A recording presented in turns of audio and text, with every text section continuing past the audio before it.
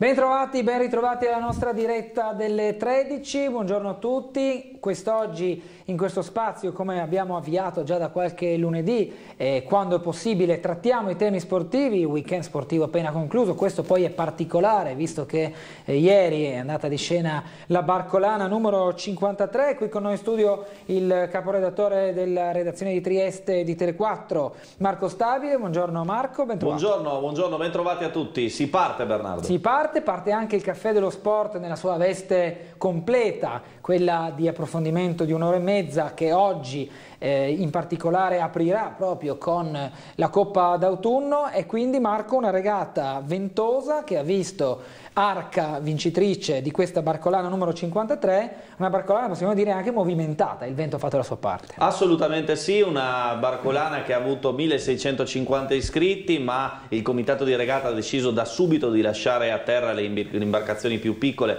per sicurezza e poi nel corso della regata si è deciso prima per accorciare il percorso poi per sospendere la regata ad eccezione delle categorie dei più grandi, semplifichiamo così. Queste immagini si riferiscono a una partenza, una partenza sotto raffiche di Bora che dai 40 nodi sono arrivate addirittura a punte di 48. Quell'imbarcazione alla destra di Arca che avete visto con quella eh, randa bianca e Prosecco eh, Doc, Porto Piccolo Prosecco Doc, che tra l'altro ha spaccato le stecche della randa, vedremo poi in altre immagini eh, una, una, partenza eh, complessa che poi è costata la regata. Eh, davanti a tutte in prima boa eh, Way of Life dello sloveno Gasper eh, Vincenz che ha girato primo. Arca dietro ad inseguire di poche lunghezze, ma cosa è successo poi sul secondo lato? Anche l'imbarcazione slovena ha avuto qualche problemino al carrello della Randa, permettendo così ad Arca, che di fatto era già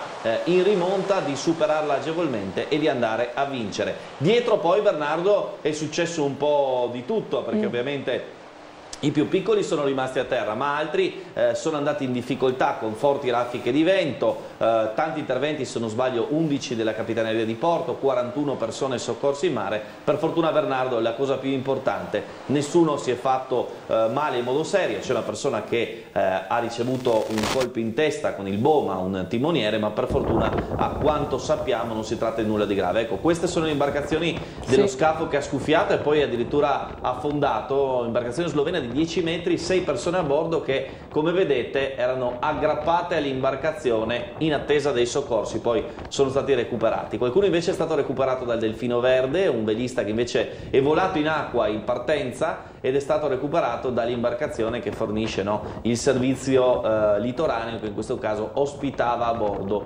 eh, gli amanti mm. eh, della vela. Quindi insomma un po' di brividi diciamo così. Brividi ma non tanto in acqua perché come ho letto anche oggi lo stesso che è caduto in mare ha detto non ero granché preoccupato nonostante non avessi addosso il giubbotto eh, salvagente perché... Eccolo qua. Perché la temperatura del mare non era poi così fredda. Per certo. assurdo, nel vedere queste immagini uno si immagina ovviamente un'acqua ghiacciata, una temperatura proibitiva anche solo per pochi minuti. Lui è stato 10 minuti in attesa dei soccorsi, ovviamente era attorniato dalle barche che erano lì eh, presenti, o almeno nelle vicinanze, non era abbandonato in mezzo al golfo. Poi la barca invece che il Delfino Verde che hai ricordato tu era quella proprio predisposta a poter intervenire in maniera migliore rispetto ad altri. Questo per quanto riguarda riguarda eh, gli eventi eh, diciamo di eh, incidenti di percorso di questa barcolana 53 che come dicevi tu ha visto al traguardo non tutti sulle 1650 se non sbaglio al nastro di partenza 126 sono arrivate al traguardo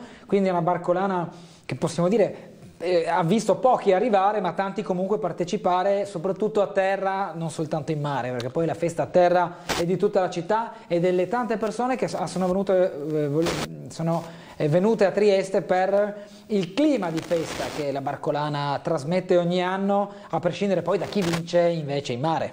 Tra l'altro in categoria generale 1 ha ovviamente vinto eh, Arca, in 2 eh, in realtà Way of Life eh, ha vinto di eh, categoria, in categoria 3 eh, la terza proprio sul traguardo eh, l'ex Maxi Iena, no? così la conosciamo, di Milos Radonic, ehm, generale quarta ehm, Europa di eh, Dushampou e poi tante altre vittorie di categorie in, eh, in tre, eh, per esempio eh, la eh, Woodpecker Cube del circolo canottieri Aniene con Alberto Rossi armatore e poi ancora diverse altre imbarcazioni molto interessanti che hanno fatto bene, c'è anche il mitico Shining che è arrivato in ottava posizione generale. Queste immagini però ci ricordano una cosa, eh, che finalmente la città ha avuto di nuovo la propria cartolina, la propria eh, cartolina di città della Barcolana, quell'immagine che arriva in tutto il mondo, perché in tutti i telegiornali, i giornali specializzati non solo del mondo, l'immagine della Barcolana arriva e promuove Trieste. Tu stesso Bernardo l'hai vissuta chiaramente a terra nel villaggio Barcolana e sabato sera eh, si era eh, diciamo così, colpiti da quello che è stato un ritorno alla festa oltre che alla regata in mare. Un ritorno alla festa, un ritorno alla partecipazione anche della eh, vita della città, della vitalità della città, del commercio o comunque di ciò che offre Trieste e ha offerto in questa settimana, nonostante poi Labora abbia eh, compromesso una giornata intera di villaggio Barcolana chiuso nelle, nel tratto delle rive, se non sbaglio, nella giornata di giovedì, eh, diciamo complicando un po' anche quelle che era la visita dei tanti turisti che hanno preso d'assalto gli alberghi, quindi certo. in maniera collaterale hanno, eh, gio ha giovato anche a, al, al, sistema d'accoglienza, di trasporti, di ristorazione della città e questo può far piacere soprattutto dopo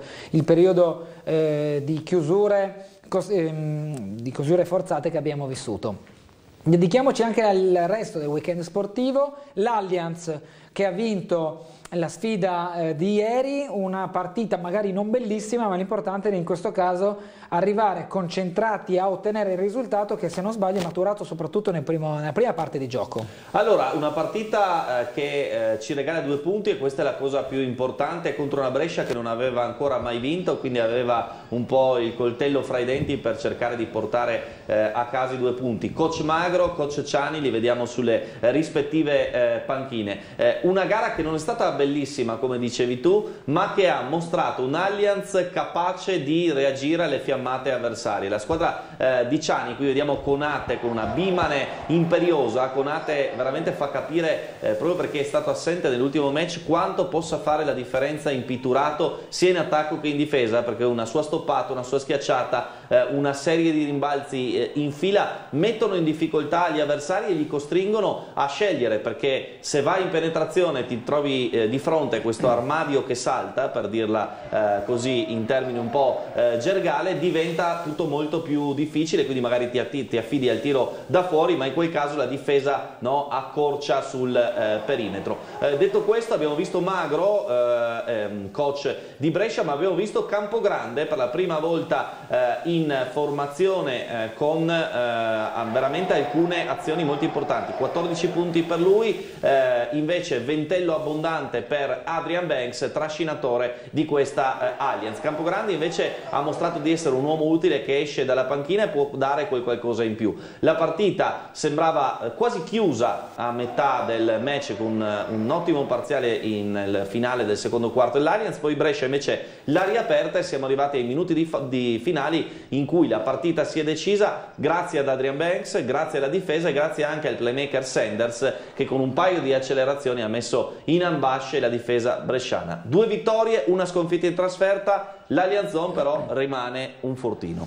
Pareggio invece per la Triestina che era impegnata ieri a Verona contro la Virtus Vecomp, una partita abbastanza eh, piatta da un punto di vista, beh, a parte il risultato, uno 0-0, un pareggio bianco, come si dice, reti bianche, reti inviolate, ma anche eh, una partita che non ha offerto grandi spunti per la cronaca dei 93 minuti totali di gioco, perché eh, la Triestina si è presentata sì eh, in campo con la voglia di arrivare al risultato, ma poi vuoi la complessità di una sfida bloccata a centrocampo, vuoi anche le tante assenze in casa Triestina, soprattutto nel pacchetto offensivo, op opzioni d'attacco ovviamente valide, quelli dei Rosso Labardati, che però non hanno inciso più di tanto. E qui il cammino della Triestina si è dimostrato altalenante, due vittorie di fila eh, nell'ultimo mese, nel mese di settembre, per poi l'unesimo stop, ora un punto che sappiamo, il detto dice il punto fa classifica,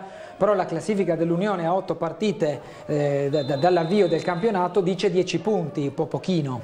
È una squadra che deve trovare una sua fisionomia, lo abbiamo detto dopo un mercato che si è chiuso praticamente all'ultimo istante e ha portato tanti nuovi eh, giocatori, ma è una squadra che soprattutto deve trovare Cave, eh, cattiveria e cinismo, perché in Serie C, lo diciamo ormai da più eh, stagioni, il bel gioco paga fino a un certo punto, bisogna essere cattivi, cinici, portare a casa l'1-0 in trasferta magari, eh, a centrocampo eh, magari essere anche un po' più tosti dal punto di vista dei contatti, perché ci sono delle differenze clamorose tra giocare in una situazione come lo Stadio Rocco da Serie A e giocare in questi campi eh, di eh, provincia. Le squadre si chiudono, le partite si fanno più difficili, con la tecnica magari non riesci sempre a superare l'avversario, quindi serve quel salto di qualità dal punto di vista del cinismo e della mentalità che però una squadra nuova, con un progetto biennale, con tanti giovani, con tanto rinnovamento, ha bisogno di tempo. Dopodiché, vista dai tifosi, eh, chiaramente non è sempre così facile far passare questo messaggio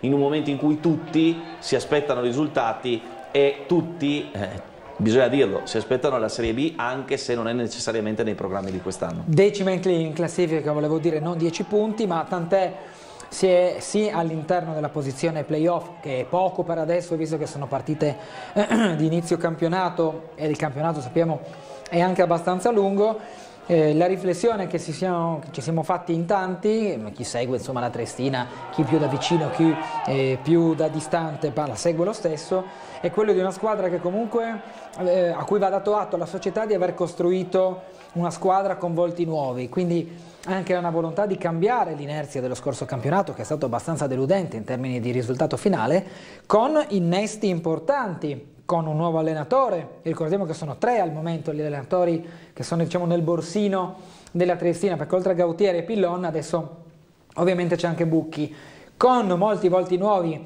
fra i giocatori, non ultimo il portiere, il primo che parte col numero, con la numerazione delle magliette e anche un nuovo innesto. Però bisogna dare anche tempo, alcuni dicono otto gare è, è, è sufficiente per rodare i nuovi innesti, però c'è anche da dire che sono arrivati veramente alle ultime fasi il di campionato. Il problema è che otto gare di, sì, se avevi la squadra eh, ad agosto pronta, hai fatto il ritiro, hai capito eh, le gerarchie, hai capito eh, il modulo giusto da applicare, perché in realtà eh, Bucchi è già partito con un'idea e poi si è adattato sulla base di quello che gli ha fornito il mercato, quindi anche qui e anche l'indisponibilità, perché sono e anche l'indisponibilità, è verissimo, è verissimo. Eh, è una Triestina eh, che probabilmente invece dal mio punto di vista vedremo sotto Natale nella sua vera fisionomia. Il problema è eh, basta per arrivare in una posizione utile per i playoff, per provare ad insidiare eh, le big eh, nella eh, scalata alla Serie B? Eh, speriamo, contiamo di sì. Io eh, sono più, virgolette, preoccupato da un altro aspetto, il pubblico, perché l'Allianz ieri eh, come dire, eh, ha aperto le porte a più persone, le persone hanno risposto. La Triestina in questo momento su questo ha un grosso punto di domanda ed ha ancora una tifoseria che per la questione Green Pass eh, rimane, rimane distante. fredda, distante e Milanese ha lanciato un chiaro grido d'allarme anche nel servizio fatto da Umberto Bosazzi eh, sabato in cui diceva il problema non è solo la capienza. Non è la capienza perché la capienza oggi dà la possibilità a circa 10.000 eh, persone di poter andare allo stadio Rocco, però se dopo la risposta è di 800-850 persone, allora c'è un problema di affezione forse, o di disaffezione forse della tifoseria eh, della Triestina che eh, però dobbiamo ribadire ha anche uno zoccolo duro di 2000-2500 tifosi, buona parte della curva che al momento sta eh, protestando certo. contro le misure introdotte, il Green Pass per primo e che quindi eh, sta scegliendo di non seguire da vicino la squadra. E questo è un forte limite per quello che è il cuore, poi l'anima vera del tifo rosso alabardato, nulla togliere chi senza nulla togliere a chi gli altri vanno in tribuna, seguono la, la, la squadra anche in trasferta e ci vanno sempre, però poi il coro, il, mm, la vicinanza proprio emotiva la dà soprattutto il calore della curva. Anche perché poi effettivamente ci sono delle regole che per gli ultra eh, si può capire siano eh, difficili da, da, digerire. Adesso non entro nello specifico sì o no eh, ai Green Pass, Tele 4 una posizione chiara sui vaccini, l'ha sempre detto, però non puoi portare i tamburi, non puoi cantare in modo ravvicinato, eh, cioè come dire, mh, sono tutte questioni eh, che eh, hanno una correttezza sanitaria ma che chiaramente limitano quella che è l'attività dell'ultra che non viene allo stadio solo per applaudire seduto ma fa un altro tipo, dire, di attività no, allo stadio. Quindi come dire, anche qui c'è un problema che riguarda tante tifoserie, non solo la Triestina, Milanese citava il Padova, Padova Triestina, quattro gatti allo stadio per la giornata, eh, diciamo così, il match clou del, della Serie C di quella giornata. E c'è un tema delle società legato agli incassi, Beh. perché una società di Serie C che incassa poco o nulla dal pubblico eh, diventa un problema già a metà campionato. C'è un ulteriore aspetto e poi noi andremo verso la chiusura ricordando l'appuntamento di, di questa sera e gli ospiti, che è legato sempre alla Triestina e alle prime voci che poi qua i social fanno la loro parte sull'allenatore. Ingiusto secondo te dare già buchi per, uh, nella graticola come si dice? Secondo me non ha senso in questo momento, bisogna aspettare, bisogna aspettare, almeno ancora un mese, bisogna dare la possibilità di buchi di impostare la squadra con i nuovi arrivi e eh, di vedere dopo queste due vittorie, questo pareggio, eh, come va. Poi se ne potrà parlare. Io devo dire la verità, sono abbastanza allergico agli esoneri, eh, se poi vediamo la situazione della Triestina, come dicevi tu, con gli allenatori già esonerati e in parte a libro paga, insomma io starei un po' più tranquillo. Allora, ricordiamo l'appuntamento. Questa sera alle 21 il Caffè dello Sport, ospiti in studio. Allora, ospiti in studio, mi è appena arrivata la eh, conferma che ci sarà Capela per quanto riguarda la Triestina, il difensore eh, della Triestina eh, Calcio sarà con noi alle ore 21. Eh, per il basket mi arrivano le conferme proprio eh, in questo momento, ci sarà Lever per quanto riguarda l'Allianz, ci sarà Alessandro Asta di City Sport eh, sia sul fronte Triestina che sul fronte Pallacanestro Trieste. E per la Barco Barcolana, il presidente della società velica Barcole Grignano Mitia Gialuz e eh, il timoniere vincitore della Barcolana 53 Furio Benussi che ci parlerà anche del progetto Arca che punta a una sorta di grande slam nel mondo della vela. Un appuntamento quindi quello del Caffè dello Sport che ritorna nella sua veste integrale e ordinaria a partire dalle 21, i temi li abbiamo in qualche modo eh, anticipati con questa diretta delle 13 per poi eh, invece eh, poter ancora prima delle 21 godere delle immagini della Barcolana, della Triestina e dell'Allianz Trieste nel corso del telegiornale che comincerà tra poco. Grazie Marco. Grazie Bernardo, grazie a voi. Ore 21 su Tele 4 il caffè, ora c'è il TG, no? Giusto? Ora c'è il telegiornale, quindi breve pausa pubblicitaria, torniamo tra poco con l'informazione di Tele 4.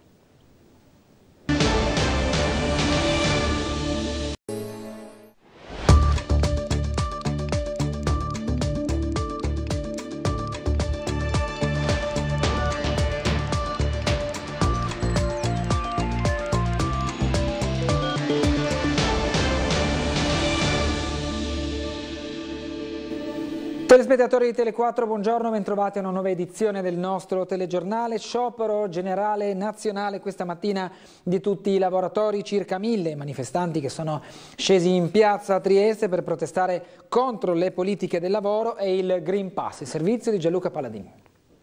Sciopero, sciopero generale contro il governo del capitale. Sciopero, sciopero generale una critica alle politiche del governo Draghi sul lavoro, sull'introduzione del Green Pass obbligatorio, sullo sblocco di licenziamenti, sulla riforma del fisco, fino alla gestione dei fondi del PNRR, ma non solo. Sindacati e lavoratori in piazza a Trieste a marciare in corteo.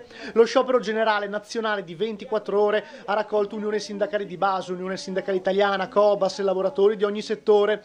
I manifestanti hanno iniziato la camminata per le vie cittadine alle 10 da piazza Goldoni, per poi arrivare in piazza Oberdan e compiere il giro del centro centro città, passando per Piazza della Libertà, Le Rive, Corso Italia, per concludere la marcia tornando in Piazza Goldoni. Ancora una volta Polizia di Stato e Carabinieri hanno presidiato il corteo in testa e in coda, a garanzia che il tutto procedesse in massima sicurezza, mentre gli agenti della Polizia Locale deviavano il traffico veicolare. Circa mille, secondo i dati della Questura, i manifestanti scesi per le vie del capoluogo. Ma questa è una manifestazione che vuole mettere al centro il lavoro e i lavoratori. Questo governo ha deciso di rimuovere il lavoro dagli investimenti e dagli interventi del piano di rilancio economico di questo Paese. Siamo qui perché c'è anche la netta contrarietà al Green Pass che rischia di distorcere le regole oggi sancite in materia di sicurezza, lo statuto dei lavoratori e anche la materia della privacy. Noi parliamo di lavoro, il governo ha scelto di sbloccare i licenziamenti attraverso un accordo sottoscritto dai sindacati complici. Questo è un corteo ovviamente che parla anche della questione del sociale, il governo ha deciso di rincarare le bollette, il governo sta imprimendo una riforma sul fisco che, rischia di essere spaventosa e solo a carico di lavoratori, c'è un attacco ai poveri da parte di questo governo. I problemi della sanità, l'edilizia scolastica e la condizione dei lavoratori precari sono altri temi portati in piazza quest'oggi. La pandemia ha ridotto questo paese in macerie e non devono farne le spese solo i lavoratori e le lavoratrici. Prima di tutto investimenti quindi nel lavoro, nella sicurezza e poi nella sanità e nella scuola pubblica. Questi sono i punti forti di questa manifestazione di oggi.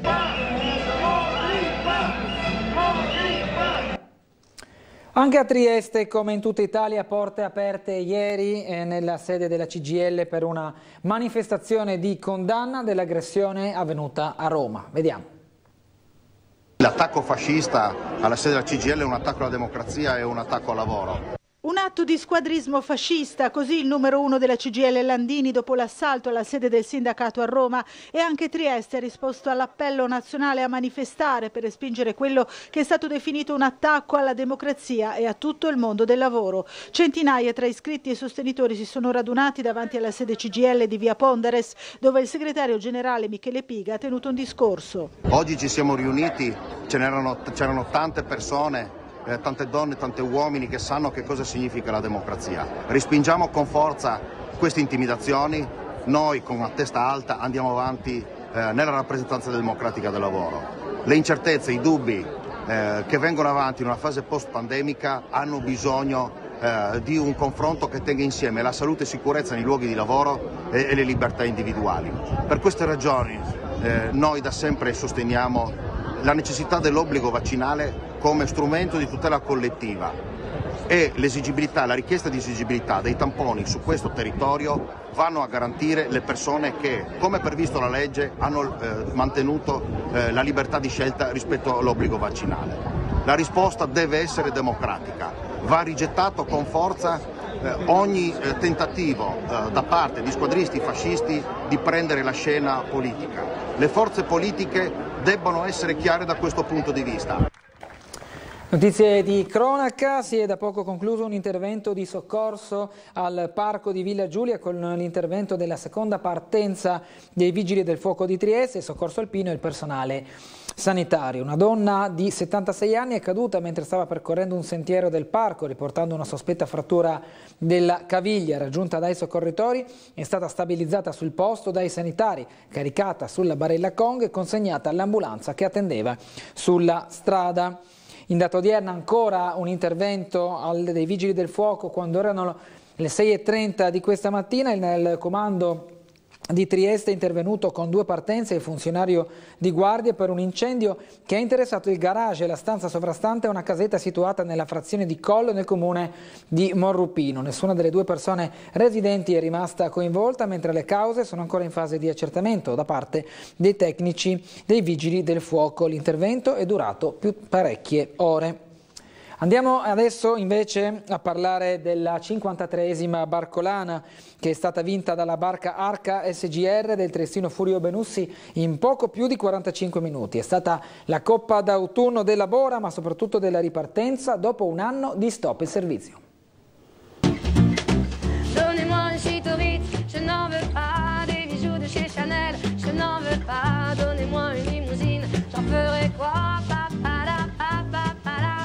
Voglio un attico in centro né una villa in costiera. Cosa me ne faccio? Di un Rolex o del faro della vittoria in regalo? Io voglio libertà, vento tra i capelli, vela gonfia, orizzonte senza certezza. Dimenticati cliché. Voglio sentire sulla pelle la bora che tinge di bianco il golfo di Trieste. Io voglio nuove rotte. Il centone barcolanesco della hit Je io voglio, della trascinante Zaz è un inno alla Barcolana 53, un mare di possibilità ritrovate. L'immagine d'apertura è l'insieme del singolo, sulla linea di Barcola e nel villaggio sulle rive, le diverse partenze, le diverse interpretazioni della raffica, i diversi modi di stare assieme, i diversi modi di esserci, l'arte di vincere comunque con in mano un timone piuttosto che uno spritz. Un po' tu, le marins.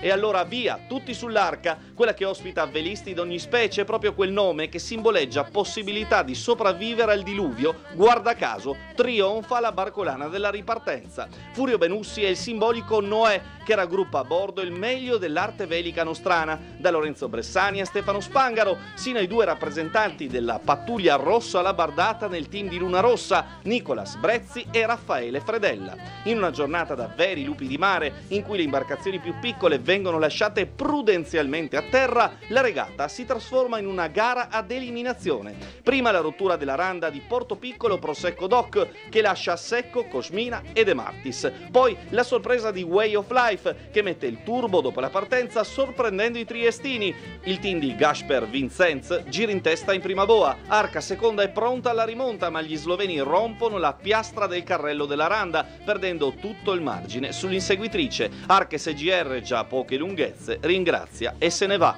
Il team nostrano taglia il traguardo in terza boa in poco più di tre quarti d'ora, prima percorso accorciato a causa della bora che invece di calare aumenta, poi addirittura regata annullata dalla seconda classe in giù, seconda Way of Life, terza Maxi Iena di Milos Radonic, quarto Adriatic Europa dell'inossidabile Dushanpuch. Le nazionalità delle barche dicono Italia, Slovenia e Montenegro per il podio, ma ciò che conta davvero è aver restituito a Trieste la sua cartolina per i tanti turisti e curiosi arrivati da mezzo mondo per la Coppa d'autunno, uno scatto, un'immagine, un momento sotto raffica che, ne siamo certi, non potranno mai scordare.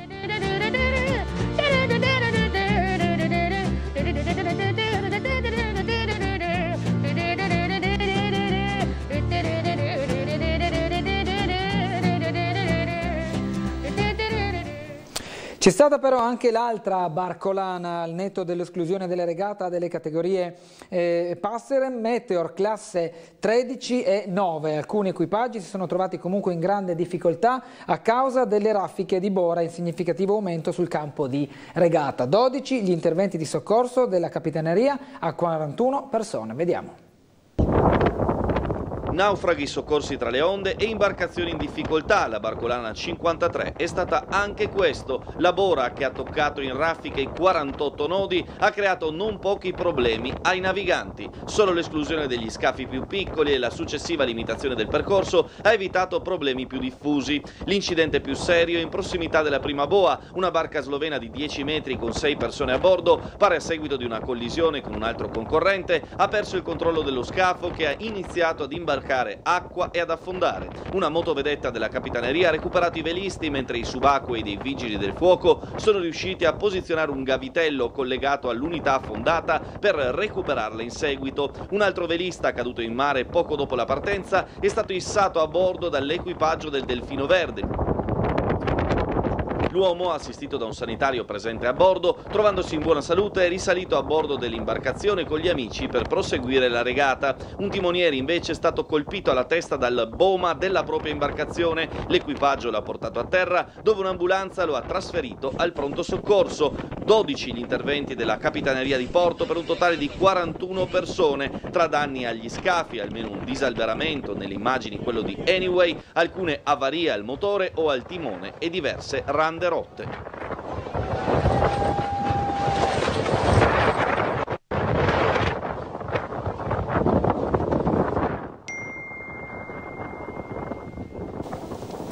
Ora le interviste ai vincitori della Barcolana 2021, i Tristini Furio Benussi e Lorenzo Bressani, rispettivamente timoniere tattico di Arca SGR. Bravi. Guarda, devo dire sono contento di quello che ho visto in questi giorni a Trieste, nonostante il brutto tempo appena si è aperto un attimo la, la, città si è riempita, la folla e quindi questo è Barcolana. Eh, Furio, raccontaci la regata perché da terra obiettivamente non è che si sia capito proprio tutto, eh, alcuni hanno rotto, altri forse non hanno manovrato al top, comunque la Bora chiaramente ha inciso in modo determinante. Era, guarda, io ti dico, ricordi Barcolana 2000? Questa era molto simile alla partenza Barcolana 2000, era difficilissimo in partenza, complicato, noi abbiamo spaccato due stecche prima della partenza, abbiamo dovuto ammainare per due volte la randa per cercare di metterla in sicurezza, Era, guarda, il gol è stato non far danni e non far sbagli di manovra, ma l'equipaggio qua ha fatto centinaia di ore assieme, migliaia di miglia, quindi quello ero veramente tranquillo. Lorenzo Bressani, la barcolana della ripartenza, torna subito in mani triestine.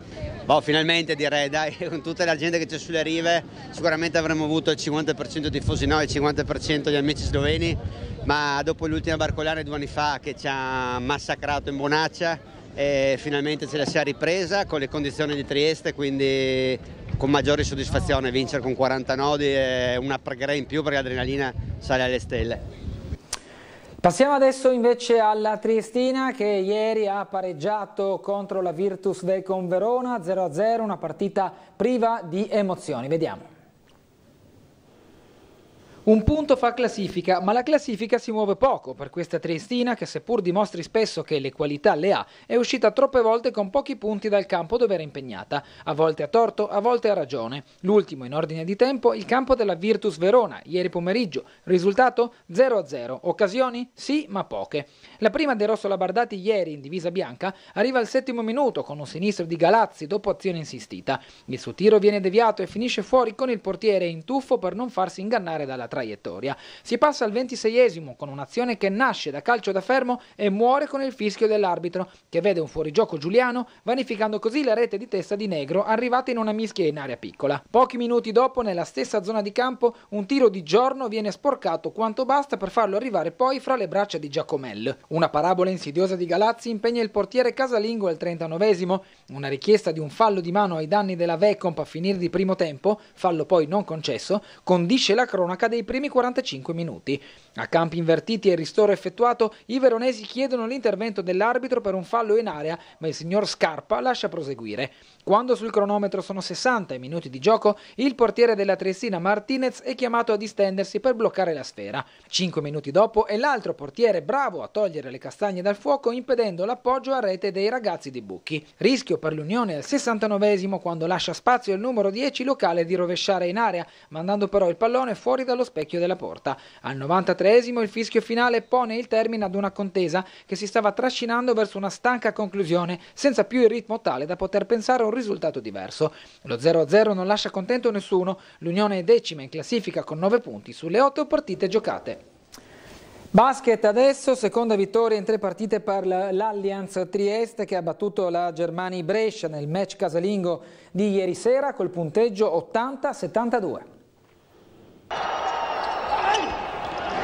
La qualità di Banks, l'energia di Conate e le accelerazioni di Sanders. Vanno ricercati in questo trio i perché della vittoria dell'Allianz contro la Germani Brescia. Partita a strappi non particolarmente bella, ma in cui i biancorossi reagiscono con fermezza alla rimonta di un'avversaria piena di talento. Puri 14 punti in 15 minuti di campo grande sono un fattore da evidenziare e conservare con cura. Pronti via, Conate entra, stoppa e schiaccia. Il centro maliano spiega subito perché quando c'è si sente sia in attacco attacco che in difesa. Banks mette la tripla e Trieste va sul 6 a 3. La tabellata vecchia scuola di Moss accorcia le distanze in un clima iniziale in cui il nervosismo la fa da padrone. Poi un paio di perse sanguinose dei biancorossi si sommano a due possessi con rimbalzi in attacco e secondo tiro della Germani. Banks reagisce al meno 7 caricandoci la squadra sulle spalle con 4 punti in fila. La circolazione di palla di Brescia resta un bel vedere, ma i tanti errori da ambo le parti sono il minimo comune denominatore. Trieste però scopre giocatore Campogrande che a cavallo tra la fine del primo e l'inizio del secondo quarto mette due canestri di pura classe e chiude un contropiede. Consumato il sorpasso, l'Allianz tocca anche il più 7, ma la gara resta in equilibrio grazie ai canestri di Della Valle. Con una schiacciata per parte la partita si infiamma e sugli spalti si accende l'entusiasmo. Trieste cambia volto nella seconda metà della frazione, Banks, Delia, Grazzulis e Conate innestano le marce alte recuperando palloni e trovando l'uomo libero in attacco. Mentalmente i ragazzi di Ciani sembrano padroni del match e il risultato vola sul 47 a 31 all'intervallo. Trieste svolta sia nel tiro pesante che negli assist. Brescia riparte di slancio con un perentorio 9 a 5 ma la squadra di Ciani risponde con Banks e Grazzulis. L'Allianz sente la pressione degli uomini di Magro che vogliono centrare la prima vittoria ed ecco allora che l'energia di Conate viene nuovamente in soccorso ai biancorossi. Vede il canestro, spazzola i tabelloni e mette una stoppata che carica il palasport. E lui insieme a Banks il totem a cui aggrapparsi. Della Valle Sanders però fanno male dal perimetro e nonostante diversi errori gratuiti la Germani torna sul meno 4. I biancorossi infatti smettono di segnare, pasticciano troppo con le palle perse e il match si riapre. L'ultimo quarto è tutto in salita per i padroni di casa, pessimi attacchi, difesa rivedibile, pure un fallo tecnico a Fernandez. Brescia passa in vantaggio dopo essere rimasta sotto per quasi 30 minuti. L'Allianz sembra smarrita e serve una tripla di lever per riportarla in linea di galleggiamento. Si gioca punto a punto il pallone inizia a pesare. Sanders si esibisce in un inchiodati in campo libero che vale il sorpasso. Banks, 25 punti alla fine, muove la retina della linea della carità e appoggia al vetro una penetrazione. Mattoncino dopo mattoncino, Trieste vede il traguardo sul più 5 a due minuti dalla fine. Pure Sanders aggiunge quel qualcosina in più che lo mette di diritto fra i tre uomini decisivi del match. Il tabellone finale recita 80-72. L'Allianz Dome resta un fortino. L'approfondimento sportivo torna questa sera alle 21 su Tele4 con il caffè dello sport. Assieme a Marco Stabile ci saranno Mitia Gialuz, presidente della società Velica Barcola Grignano, Furio Benussi, timoniere di Arca, l'imbarcazione che ha vinto la Barcolana 53, Alessandro Lever, centro dell'Allianz Trieste, Annibal Capella, difensore della Triestina e il giornalista Alessandro Asta di City Sport, come detto questa sera alle 21 con il caffè dello sport. Diamo uno sguardo rapido alla pagina meteo con la situazione generale, una depressione si sposta dall'Italia verso la Grecia, martedì sulle regioni affluiranno correnti nord-occidentali umide in quota, mercoledì più secche e fredde da nord. Per oggi nuvolosità variabile con tempo migliore dal pomeriggio, al mattino sulla costa eh, Bora moderata, in quota vento da nord-est moderato. In calo nel corso della giornata con temperature minime 10-13 gradi, massime 15-19 gradi centigradi. È tutto per questa edizione del nostro telegiornale, buon proseguimento di giornata, arrivederci.